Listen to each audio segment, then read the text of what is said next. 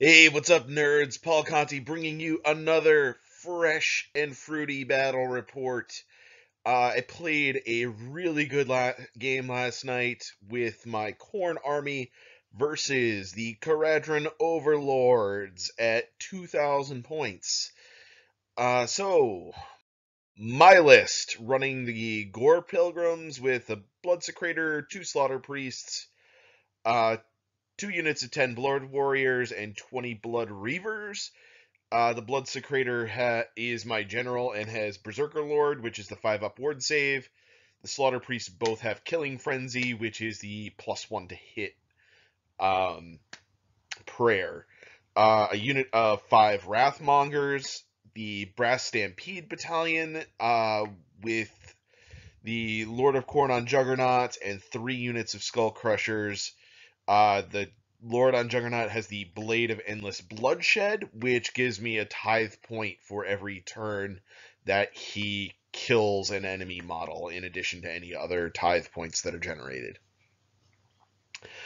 Uh, also have an Aspiring Deathbringer with Mark of the Destroyer and a Skull Grinder with Mark of the Destroyer. Um, so really not a super hard list. Uh, my opponent's list not super hard either. Um, just kind of at the moment feeling things out, getting to know the army, and uh, seeing how some things work. Um, my opponent's list. Uh, he's running the Barak-Mornar Skyport. His additional footnote is these are just guidelines, uh, which I believe lets him re-roll his footnote. Um, he is running an Arkanaut Admiral with opportunistic, opportunistic privateers, three Aether-Khemists, one with an Aethershock Earbuster, uh, 20 Arkanaut Company with six light skyhooks, uh, two units of 10 Arkanaut Company with three light skyhooks, uh, 20 ground Grundstok Thunderers, 20 Grundstok mortars, and a unit of nine Endrinriggers with three uh, grapnel launchers. Um, and then an Arkanaut frigate uh, with a heavy sky cannon. Uh, and the Great Endrin Works are the last word. So, setting up the game, um, the scenario we rolled was Border War. Um, uh, my opponent won the deployment initiative. I managed to outdrop him by one unit, uh, and I choose to go first. So this is what deployment looks like. I put uh, on in my left corner uh, one of my units of Blood Warriors. Um, and then across the line in the front, I've got a unit of Juggernauts, my Lord on a Juggernaut, Skull Grinder, and a unit of Wrathmongers. Uh, across from that on the other side, you can see one of his units of Arkanaut Company and his sky ship uh, hiding behind a building over there. Uh, his army's not fully assembled and painted yet. There's a couple of things that are proxies or are going to be alternate models. Um, so forgive me for that. My army, however, fully painted and based, uh, which I that's become like a requirement for me to have the fully ba- painted and based army. In the center of the battlefield, uh, I hid my Bloodsecrator and Slaughter Priests behind a building that was conveniently placed. Um, in the center of the board, my uh, Blood Reavers are in back of them. Uh, in retrospect, I really think I should have kind of created a pillow for the Bloodsecrator and Slaughter Priests with those Blood Reavers to prevent the thing that you're going to see happens on turn one. Um, on my right flank, I've got two units of Juggernauts, another unit of Blood Warriors in the corner, and hiding just behind that building is my Aspiring Deathbringer. Uh, so turn one, I drop my banner. Uh, not much else really happens there. Left flank, everybody runs up. One of my units of Juggernauts I managed to get into cover, uh, which was pretty useful. Um, I really didn't want all of my stuff to get shot off the board turn one, uh, and that helped give some extra resilience for that.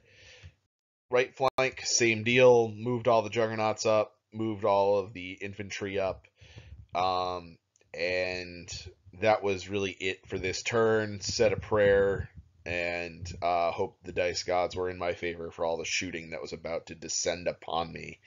Uh, so hero phase turn one, uh, my opponent drops all of his Endrinriggers out of the skyship. Um, that's about to be super bad. I believe he re-rolled his uh, article. I forget which article he ended up with. Uh, he makes all of his dudes immune to battle shock with his general. Um, movement, he steps most of his guys back, except for the Endrinriggers, which aggressively move up the board. Um, then we get to the One of my juggernauts in the unit in cover goes down, two wounds on another one of the models over there side of the board, lose four juggernauts, and get a wound on uh, one of my blood warriors from a massive amount of shooting that happens along the the whole board. Um, going to uh, well, I would say the charge phase, but we're not quite there yet. So he uses Endrinriggers to uh, grapnel launch over to one of the pieces of terrain and gonna get into my backfield. Um, all of those Endrinriggers that you see sort of off to the side, uh, his models aren't completed being painted and assembled yet, so those were just ones that were not really sitting on the stands very well. So we just put the uh, bases down and the guys off to the side. Um, just so that we knew uh, what was where and had some idea of what was going on um, without these guys fa- constantly falling over. Um, they charge in, they got a pretty good charge distance, and they fly, so they surrounded my slaughter priests and Bloodsecrator. Uh, both slaughter priests, I know this is a horribly blurry picture and I apologize. Both of the slaughter priests survive. They are hanging on by one wound each. Um, I did not lose any of my Blood Reavers. However, I did, despite the uh, uh, buffs on my Bloodsecrator, uh, he did not survive turn one. Uh, end of turn one, I managed to score five points uh, from moving up the field aggressively. Um, my opponent scored one point for the objective hit on his side of the board. I walked away with one blood tithe point for that downed Bloodsecrator. And then I lose initiative for turn two. So this is where the game goes from, hey, maybe you know, this is not going to be so bad after all, to holy crap, I'm going to lose. So uh, my opponent uses his once per turn ability, I'm sorry, once per game ability to have a unit pile in an attack, uh, kills a bunch of my Blood Reavers, um, and my Slaughter Priests. That gave me enough Blood Tithe points to then activate Murder Lust and charge that unit of Skull Crushers into the Endrinriggers. Unfortunately, the shooting phase has not yet happened, and I I failed my roll to do mortal wounds on the charge, so nothing happened there. Shooting phase, those guys get shot off the board and end up doing absolutely nothing of value. Over on the left flank, my heroes take some damage from shooting. Over on the right flank, the last of the juggernauts are gone, and half of the blood warrior unit also gone. So my and my aspiring deathbringer gone. So a lot of shooting happened, a lot of stuff died. Um, yeah. Charge phase. Some of his uh, Arkanaut Company decide to try and charge into my Skull Grinder. Um, the uh, Lord on Juggernaut also in three inches to pile in. As you can see, that did not go especially well for those Arkanaut Company. They were just wiped off the table, I believe, before they did any damage at all to anything. Um, over here, not so lucky with my uh, Blood Reavers. A whole bunch of them got taken down. I don't think I took down any of his dudes in the process, maybe like one. Uh, so that was kind of bad. So, bottom of turn two, um, all the rest of the Reavers got wiped out due to battle shock. Um, so, this picture. What the hell happened with this picture? So I don't have a hero phase anymore. I don't have a shooting phase. So what happened?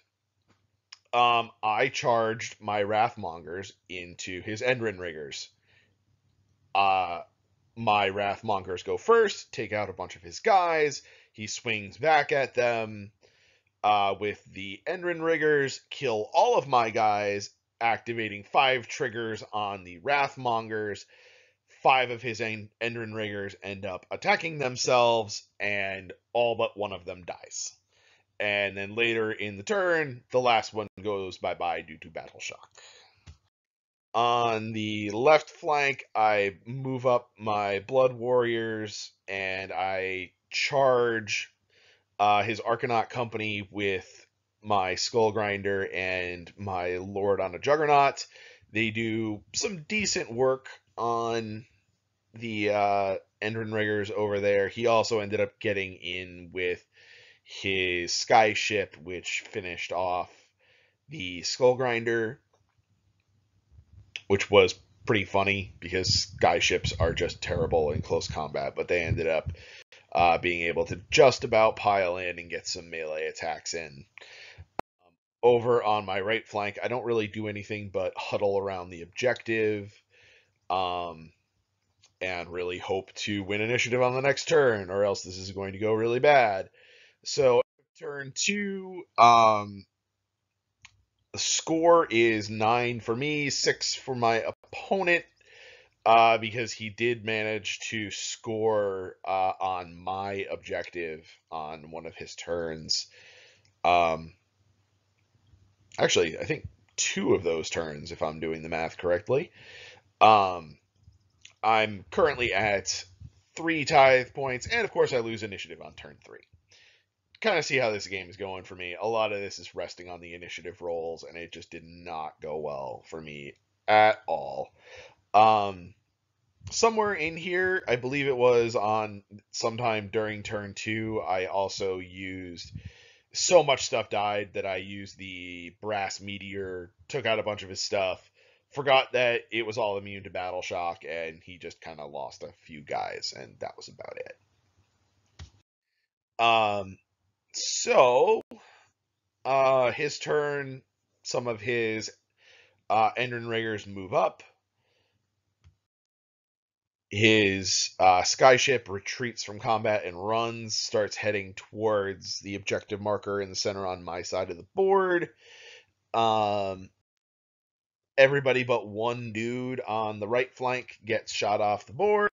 On the left flank, everybody gets shot off the board, and there's not really anything left going on over there. So Lone Broski on the right flank is all I have left going on.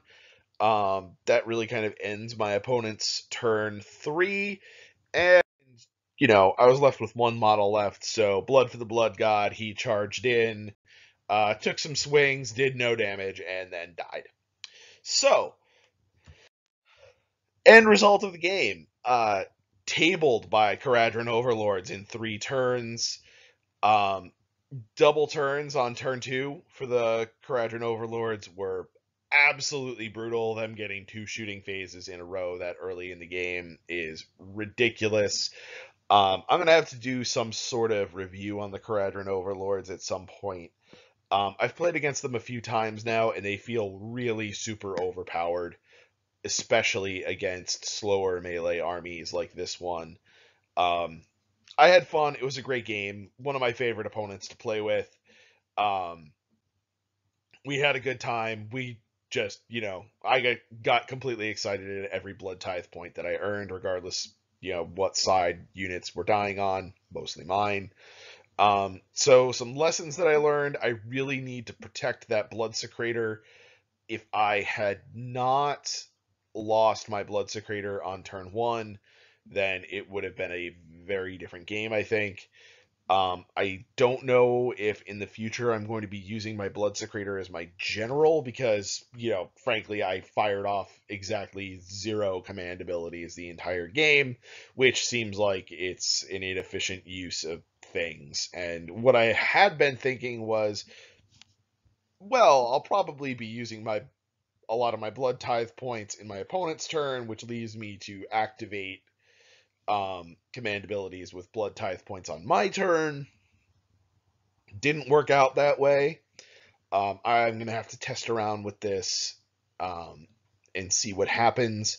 I think the Skull Grinder continues to be undercosted. He's only 80 points. You give him Mark of the Destroyer and whatever other buffs. I mean, in this game, he didn't need anything but Mark of the Destroyer, and he was just like almost single handedly taking down units of Arkanaut Company. So, yeah, some things happened. Some things happened. A lot of stuff died. A lot of stuff was shot off the board.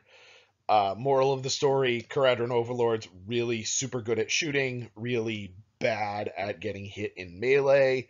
Unfortunately, my units were just not fast enough to get across the board and engage him in melee before they were all dead. Um, so, uh, that about wraps things up. I mean, it was a fun game. It was a really good learning experience. Um, kind of two new armies for both players. We weren't really using super optimized lists, so we weren't doing the most aggressive things possible. Um, you know, in part just due to limitations based on what was painted, what was uh, like what models we actually own, uh, and the fact that we're both sort of experimenting around with different things at the moment. Um, for the Kharadron Overlords, just a note that I would make is those Aether-Khemists are holy crap, really powerful. And um, I have a feeling in the GHB2 or in an FAQ, um, those guys are going to have to get nerfed because they are outrageously strong. Um, my opponent was spreading the buffs around and not stacking them. Um, like he could have just stacked all of those on mortars and basically blown me off the tar- the map even earlier than he did. Um, so in any case, that is about it. Much blood was spilled. The god, blood god was pleased. And so it was. Blood for the blood god, skulls for the skull throne. See you guys next time.